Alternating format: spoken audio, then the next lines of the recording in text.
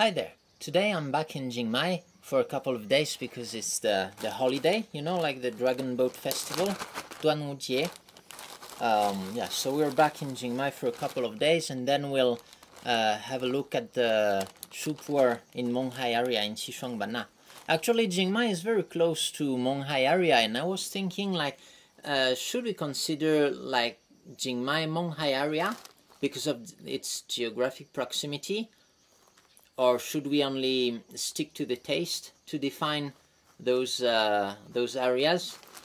Um, but that's what we're going to discuss in this video. And to keep me um, well, to keep me well watered during this video, I have some tea from Yibang um, that I received from a, a fellow tea producer. So Yibang is located in the center east of Sichuan Xishuangbanna uh, it's east of Jinghong and west of Yiwu. It's in the Six Famous Tea Mountains. And that place is famous for having uh, pure um, small leaf varietal. So as I understand, it is Camellia sinensis var sinensis and not var assamica. Although I'm not a hundred percent sure about it, because we could also imagine to have a var assamica which has very small leaves. But in this case, I, I think it's really the the var sinensis that we're talking about. And I've only been there once. It was in 2010, and um, yeah, it's an interesting area. Nowadays, it's mostly rubber tree plantations in the six famous tea mountains. Actually, only Yiwu has a, a significant amount of tea. Uh, the other tea mountains, they are really just a group of scattered villages with um, very very sparsely uh, populated in terms of tea trees and uh, tea producers. Uh, last time I went there, it was mostly rubber tree plantations. But uh, I hope if we travel there, we can find good stuff. Especially in Yibang, I'm, uh, I still kind of like that area. We just need to find good producers and good examples of these teas. So this session will be an opportunity to try another sample that I haven't tried yet. I got them in Pu'er and yeah I didn't I haven't had time to to try them yet. So let's try. And in this video I would like to discuss mainly to continue this discussion that we started um, in the Menghai Taste episodes about what's a terroir. And so I was having some wine and um, I was thinking you have two main kinds of wine you know like you have New World wine and Old World wine so basically Old World would be European wines and New World will would be all the the rest like South America, uh, North America, um, Australia, South Africa, okay, these places. And it's actually very similar to how the, the tea industry developed, right? We could say you have you have an old world which would be maybe well mainly China and probably Japan, Taiwan, although these uh, in these areas tea arrived a bit later and then you'd have the New World, which would be more like the, the British colony uh, tea, so that would be Sri Lanka, Kenya, um, India, and uh, yeah, Nepal, countries like this. We have quite a similar situation, but I think the marketing in the wine business is more developed than in the tea. And what you can see in the wine business is that uh, in the old world, we talk mostly about the terroir. It means like um, a relatively well defined producing area, and we talk about the geography, right? You can have some Bordeaux wine, Burgundy wine. Uh, these are um, areas, and we separate them according to the villages. But in the New World, the emphasis the emphasis is put on the varietal use. Okay, the the cultivar used. So it could be Cabernet Sauvignon, Pinot Noir, um, okay, varietals like that. So that's interesting. I, I would guess that because the industry um, was quite young in the in the new world, it was more strategic to um, to emphasize on something else than terroir because they couldn't talk about terroir because they had no history. Now, what would you say about the, the Pu'er tea industry? Is it a very old industry or actually a new industry? I would tend to say that the the approach, the current approach, is only about 20 years old. The idea of uh, really um, separating the mountains and well, trying to apply this kind of uh, terroir um, idea. You can see that in many places, for example, um, in Fujian, like when you're talking about rock teas, you're talking about the varietal first, right? Whether it's a Tieluohan, Shuixian, or other stuff, it's mainly the, the varietal that you name first. Only in the highest quality oolong teas you will um, really talk about the terroir. Like for example, if you if you're buying some uh, some Wuyi like from the real uh, mountain, then you will have some specific spots. But this is only a very tiny part of the market, right?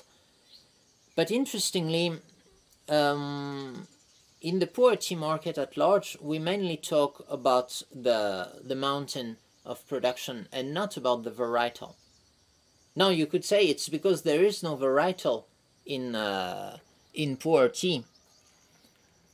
At least uh, there are no varietals that we we created on purpose, um, but there is surely a, a wide um, genetic variation depending on the mountain. And you can see that very easily uh, by looking at the leaves. Okay if you check leaves in Laoman uh, or Guafengzhai well or in many places in Yiwu you will have very big leaves and yeah if you go to if you go to Jingmai or, or to Yibang or to I don't know Yolashan or Mengku you, you will tend to have smaller leaves um, and even then, you can still make the difference between big leaves from Laoman uh, and big leaves from Guafengzhai. They just don't really look the same. The the Laoman leaves have much more hair, um, and yeah, they just look a, a little bit different. And size is only one factor, of course. So we could also argue that um, most of the taste is uh, brought by the varietal. Well, at least it's probably the, the biggest factor that influences the taste. Now, other factors would be altitude, agricultural techniques, um, maybe soil composition, okay, processing, uh, processing techniques. But, well, let's not talk about processing. Let's just stay on the raw material first. So, you'd say, for example, altitude. Now we say that the varietals they were not uh, created on purpose. Okay, we're still it's all sexual sexual reproduction, so we don't have identical, we don't have clones like it is the case for uh, all oolong teas and in many places in the world. So the difference between the the varietals is not as clear cut as it would be, for example, for oolong, um, simply because even within different varietals, you might find uh, similar looking leaves just because of randomness, okay? You have to always um, make an average. But you could still say, since you harvest a lot of tea leaves, actually the, um, the average you will get, the difference will be pretty consistent. It should be if you have thousands of leaves, even though there is um, variation within each population, uh, if you take a, a thousands of samples and you you do the average, you you will consistently get uh, a marked difference. Now, the thing is, if the varietals were not intentional, they were created through natural selection. For example, I can think of altitude as being a major um, a major pressure, you could say, a major uh, se selection pressure um, characteristic, like factor. Because the higher you go, uh, the more the tea will be exposed to frost, for example. And it will be less exposed to pest and disease in return. So you will have that, that environment. Um, during frost episodes, um, a lot of the trees will die. If you, if let's say you bring a varietal from outside, you you plant a thousand of them, let's say there's a big frost episode, your varietal is not really adapted, and let's say uh, 900 uh, of those tea trees will die. Well, now you have you can say you have a different varietal, right? You kept the 10%, the 100 trees that were the most resistant to frost. Okay? And um, and if you so now you're going to take seeds from those 100 uh, trees that are left and you're going to replant your gardens and now you're, you're going to have another frost episode and you will also lose so you will you will have successions of um, of natural selection episodes. Unlike like we unlike what we tend to think like natural selection is not necessarily slow. It really depends on the the nature of the of the pressure okay? Um, and for plants which can be replanted in a fairly short short time like you could say the um, well you could say for for the tea tree that would be maybe five years you could consider like from the time you can plant a new seed to the time you can really harvest it um, commercially. But if we're talking about frost and the plants die early then uh, the selection will be done earlier. So you can create a varietal in a few decades actually or even less if you're in in a in a lab you could say like in a more controlled conditions. But let's say you're just in a village and you're not intentionally selecting your varietals. I would argue it, it would only take um, one or, or two decades to create a new a new varietal a new genetic group from the um, the original from from the original group that you you brought the seeds from. So you could imagine that based on on this reasoning, each mountain would have um, a specific varietal. And I actually read a paper that supports this. So they took samples uh, of different ancient tea gardens in different mountains in, in Xishuangbanna, and they showed that uh, I think all of the mountains they had uh, a significantly different genetic pool from the other mountains. So even if we didn't create those varietals intentionally, they are there. And these varietals, they are constrained by, by the geography. So in our case, actually, we, we could think that the, the geography is intimately linked to the varietal. Or you could say it uh, the opposite, right? like the, the varietal you will get is intimately linked to the, the place you are in because of this natural selection. And that would be um, that would be even more true for ancient tea gardens which have had time to have a natural selection, right? Um, if we talk about all the natural tea gardens, no, it wouldn't be the case because most of the the tea gardens they were not planted from seeds uh, from the ancient tea gardens. Actually, usually you had uh, you had a centralized um, kind of seedling centers, and they would distribute the leaves when when it was in the 90s. They wanted to accelerate and somewhat um, standardize the tea production. So, for example, the natural tea gardens in Jingmai, most of them they are not from the same. Uh, they are not from the same varietal as um, the ancient tea gardens. Some of them are. I've heard like the oldest natural tea gardens, which are like 50 years old, uh, they first used the seeds from the ancient tea gardens. And then they got seeds from, from the city, from Pu'er actually, from Pu'er to Lancang. And it's hard to retrace where those seeds are uh, were coming from. Well, at least I haven't put the, the research work into retracing this. But we could guess that, you know, the mountain that's over there, which also has like plantations, it's probably the same varietal as Jingmai. Okay, let me drink my tea.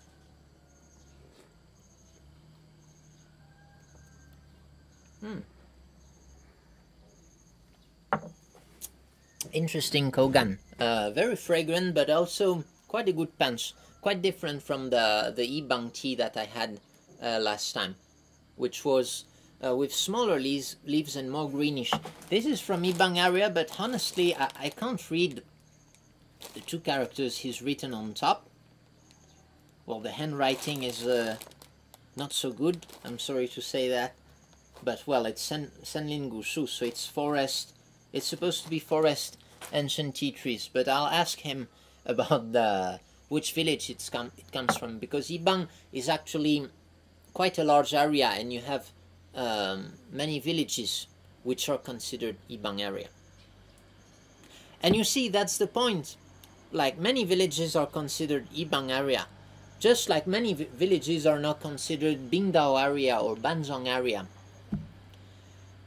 And well, people determine what what's what's the terroir, and sometimes so I guess they would be grouped according to geographic proximity and hopefully mm, similarities in taste. Okay, so for example, in Banzhang, as I understand, you, you can you can say there are three villages. You have Lao Banzhang, you have Xin Banzhang, and you have Bakanai. But yet there are obviously differences in in those terroirs. And well, Lao Banzhang is supposed to be like the best representation of the best example of that Banzhang area. Just like in Bingdao area, you have like six, six or seven villages, and the Bingdao Laozhai, Bingdao Old Village is supposed to be, well, the most prestigious and the best uh, example, the best ambassador you can find in that area. Okay, so we have Jingmai Mountain. On Jingmai Mountain, you have 10 villages, and Jingmai Dazhai, the village we're in, is the most famous one, and that's where the the tea is the most expensive. Now you also have Mangjing, uh, which is like the the second, okay, the um, the the second most famous. Well, mainly because it's a big village and it's a different character. Still, uh, yeah, they they are all considered um, Jingmai area, Jingmai area. And this is easy. They just did this uh, limite they just define this limit uh, by rivers. You know, we have the Nanlang River over there, down there in the valley, which just shows that that's the limit of Jingmai area. Now, of course, if you're down the river, you have a few tea gardens there, so they are at fairly low altitude. I would say maybe 1,000 meter, you know, at the down in the valley. And you would have tea gardens on the other side of that mountain, uh, on, the mountain um, opposite ours, so that would be Mangyun, Mangyun Mountain. And you could guess that if you're at the river and you have tea on one side and tea on the other side, uh, they are likely to taste very similar, unless the soil is different. The soil is different, and that can happen.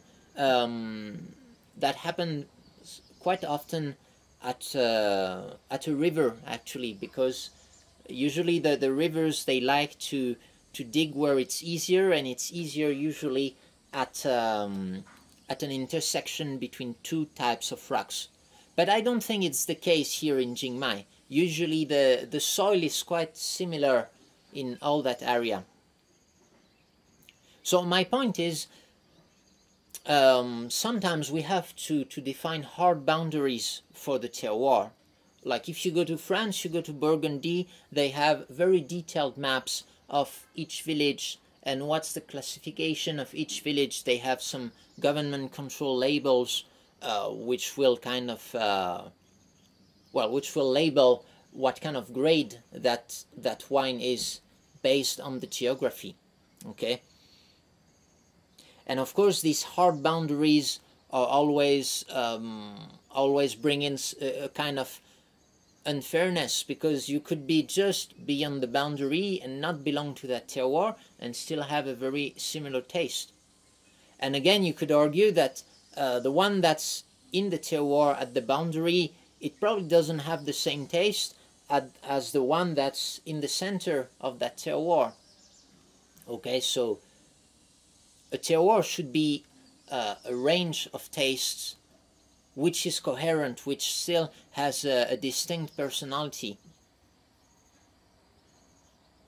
I think the where the unfairness is, the bias is, is that, well, as humans, we have to set some hard boundaries on the map, um, but nature is not as simple, and maybe even depending on the years or depending on the, the agricultural techniques, maybe the terroir would be revealed or not.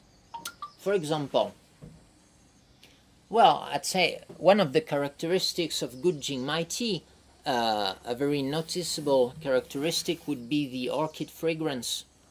And this, I would say, it's very characteristic of Dapingzhang. Now, why is it so? Is it because of the heavy shading in Dapingzhang? Or is it because of the very sandy soil we have in Dapingzhang? Is it for some slope reasons, like there's a lot of organic matter, mainly because um, it's a relatively flat area, and so organic matter um, doesn't really flows down like it is the case on the slopes. Is it a matter of uh, varietal? Maybe the varietal in Dapingzhang is slightly different from the varietal on the slopes. And that could make sense if you study agricultural history. Um, I don't know about this, and I think it would be hard to know now, but the ancient tea gardens probably started from somewhere. Hmm, and maybe it would be, it started from the plateau, so that maybe that's the oldest trees or maybe it's not. I said there is a microclimate in uh. It's uh, well, you yeah, you could say it's much colder on the plateau than on the slopes. Maybe because of that. Mm, uh, like I said at the beginning of this video, maybe because of that factor, because of the microclimate, a specific varietal mm, was created in that area, and that one only brings uh, the orchid fragrance. So it's really hard to, to point to point at one factor that would give you the the typicity of the terroir.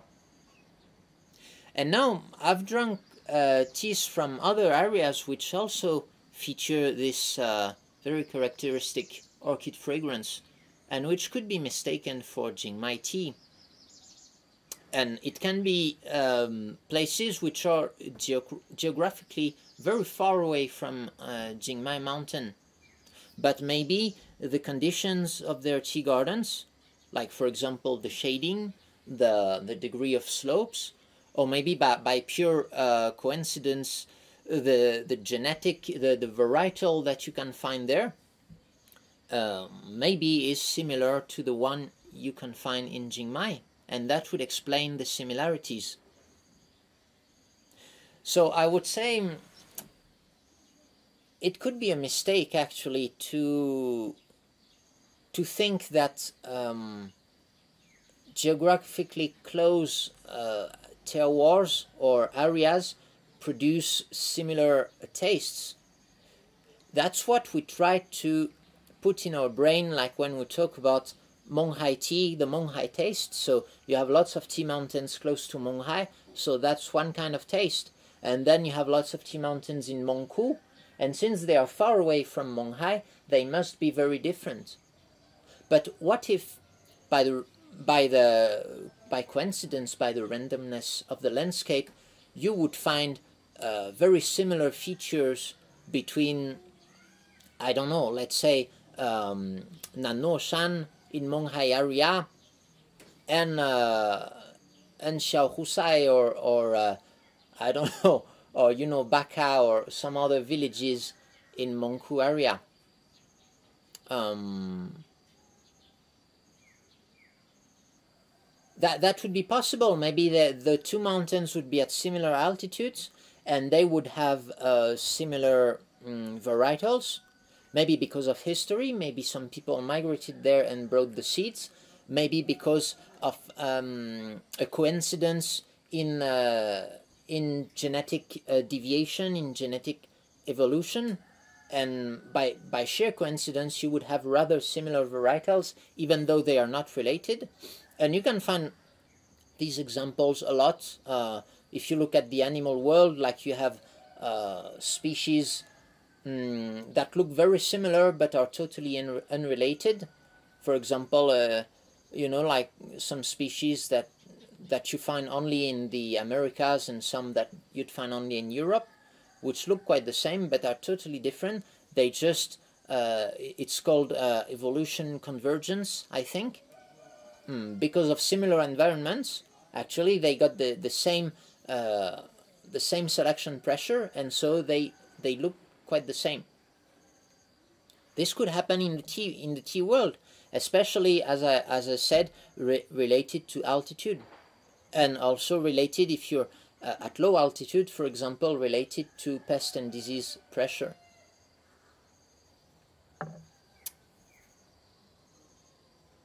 Well, based on that logic, we could think that, okay, so same, uh, a similar altitude would lead to a similar taste.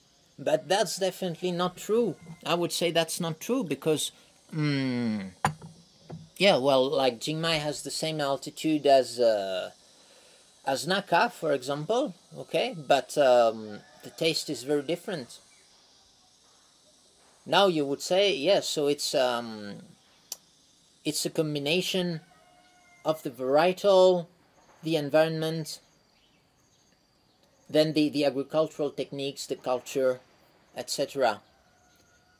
And that's that aspect, that combination that makes the, the thinking incredibly complex, okay? Because you can never re really isolate one factor, okay? Because let's say the altitude mm, brings a certain taste, but the thing is the altitude also uh, brings a certain varietal, as I said, like you have uh, connections between the evolution and the altitude. But maybe there are, there are other factors beyond the altitude, like you could be at 1,500 meters at the top of a mountain, of a small mountain, or you could be at 1,500 meters on the slope of a big mountain. And it will probably um, lead to a, a different microclimate, maybe a different ecosystem, different species that you will find, different um, different shining uh, along the um, like for example Dapingzhang is quite uh, is uh, quite particular quite unique because it's at, at the top of a mountain okay? So you're at 1650 something and that's a plateau. And you rarely find that organization most of the time. The ancient tea gardens are on a slope. Okay you also have like the agricultural practices. And the agricul agricultural practices it can be shading. This is totally determined by the um, by the farmers. So yeah I, I, would guess that it makes a major difference whether there, there is shade or not. Uh, shade I made a video about the importance of shade trees. Of course you you change the degree of uh, you, you change the light that goes in the gardens, but you change much more than this. You It will affect the soil, the soil quality, the, the organic matter content. It will affect the ecosystem, okay, the biodiversity you will find.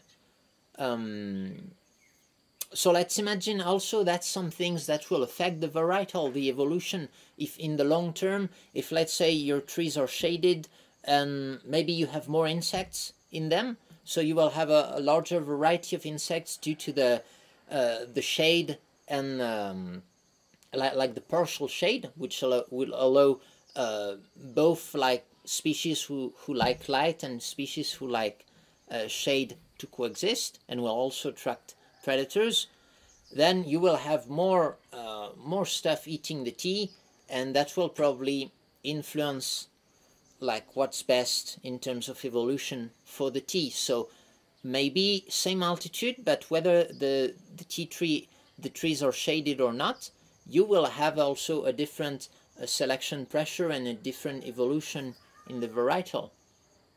It adds an, another layer of complexity because you could see gardens that uh, nowadays are not shaded. They decided to cut the forest, but which evolved for hundreds of years in the forest you know and uh, maybe because of that um, that past they will have a, a different um, a different genetic so you see if we're trying to think in a well you could say in a materialistic way and and trying to think from a, like a, a bottom-up approach. I mean, starting from the soil and from the varietals and the characteristics, and assuming that if we have the same uh, conditions, like same varietal, same environment, then we will get the same taste.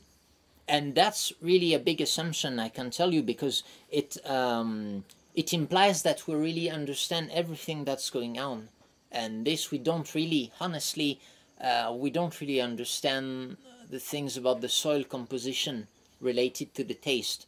You know, people like to say, yeah, it depends on the soil and everything, and it's it's quite a mystery because the soil interactions are very complex, and I don't have any data really on uh, you know the relationship between. Let's say you have a lot of zinc in your soil. Well, what is what is it gonna bring in terms of taste? Honestly, I don't know. So that idea of uh, going from the starting from the soil then the varietal and trying to define a theoretical taste um, well we could try it but um, i wish you good luck because i think some researchers are taking that approach and i hope they can find results because the good thing is if you if you can make a, a working model on this it means that you can go to an area where there's no tea and you could kind of predict whether that area would bring good tea or not.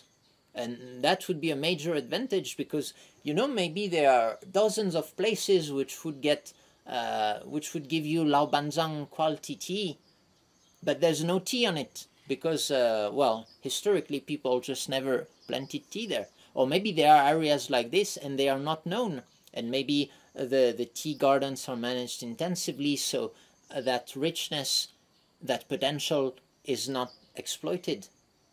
Okay, but that approach I think would be uh, very hard to achieve. So another approach is to, to um, start from the taste and uh, then look at the environment and try to find some correlations between many elements. Mm. And the difficulty in there, I think, lies first in having a, a standard idea of the taste, you know, and I feel like I even see it from all the feedbacks and discussions that I have with the customers and with uh, fellow tea drinkers and tea professionals, and I find that we often have we can have very different ideas, very different feelings about uh, a given tea. So I find that yeah, there, there are limits to the human nose, really, and or palate, you know. So, to the point that maybe tea tasting is more of an art, more about subjectivity and kind of like sublimating, transcending or uh, subjectivity, uh, having yourself in a great mood thanks to your tea, than it is about objectively identifying the characteristic of a tea. Um, yeah, honestly, as humans, we, we're pretty bad tasters. We can't really identify tastes as reliably as we can for colors, for example. Okay, like most people would agree that uh, two colors are, are different and one is darker than the other. But uh, in terms of taste, like, um, yeah, in terms of taste, especially when you get into aroma, mm, it gets very subjective. Now there is a solution to this. A friend of mine at the Tea Research Institute in Puer, they are uh, setting up a, an electric nose, electronic nose. So you just give the, the machine tea and it will, yeah, it will tell you, I think, about the polyphenol content and things like that. So that would be taking that approach like a purely materialistic approach, objective approach. You you consider that teas are similar because they have similar compounds in them and you start from there and then you you try to um, find correlations between yeah let's say uh, the amount of polyphenols and the altitude or the shading or things like this so in my opinion that would be maybe the um, the easiest approach to take in terms of uh, looking for a, a scientific truth, okay, building um, evidence of correlations and stuff. But the problem is, I was discussing that with her, and and we ended up uh, thinking like, what does what does it have to do with people's enjoyment of tea, really? Because um, I don't think it's really possible to measure the goodness of uh, of a good Lao Man'e tea, of good Lao Banzhang, of good Bingdao Jingmai. And that's the thing that gets me thinking like maybe it's not only materialistic, maybe there's something that is immaterial about the tea, something that's subjective that can be created by, by culture, but not only because I found out that um, some people who are not acquainted at all with the pu'er tea culture can also enjoy a pu'er tea. And maybe they will give you um, totally different reasons for why they enjoy this tea than the ones you have in mind. Um, but I think that that's that's really why we like pu'er tea. I think um, I really love science, but I kind of like pu'er tea because I can feel that we'll never be able to really explain it scientifically and to understand it. And that's why I keep drinking it. And you could also think that if it was possible to explain it, maybe we would have already done that. But on the other hand, you could say that the tea culture is only 20 years old, and I hope we will um, try new, new ways of uh, thinking about the terroir and how we should organize uh, all the, the different pu'er teas. But meanwhile, it's just very interesting, I think, to just compare these teas. So we try to give you as much information as possible, objective information like the altitude, where the tea comes from, um, things like that. Huh? And in the end, I think these, these objective informations are more helpful to you than the subjective information like what the tea tastes like. Because I think what the tea tastes like, you'll be able uh, to, to, well, you will be able to, to get your own experience from this. Now, where tea comes from or the altitude, this you, you need to have the information. Uh, and the information is objective, so there's no real need for discussion about this. So I prefer to focus on the objective informations. Mm.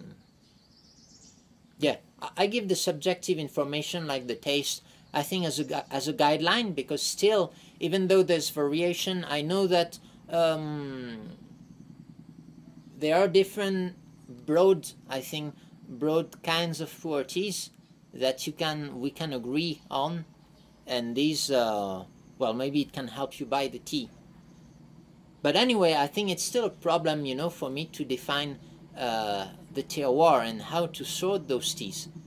So yeah, we now I'm, I'm kind of following the mainstream approach, which is uh, dividing by mountain and then by villages. And when I try, I can also uh, I try to get as much info on the on the gardens themselves in the village. But I'm curious, uh, maybe you have other ideas as to um, like how to better um, better divide and identify those teas okay so yeah that's about it i'm gonna keep drinking my tea because honestly i haven't paid much much attention but it uh, it tastes interesting i'm gonna leave you here and i'll see you later um, for more thoughts about this. Meanwhile, I'd be very interested in having your opinions about the topic of terroir and how we should sort the different teas uh, in the comment section. Okay, so thank you for watching and see you later. Bye bye.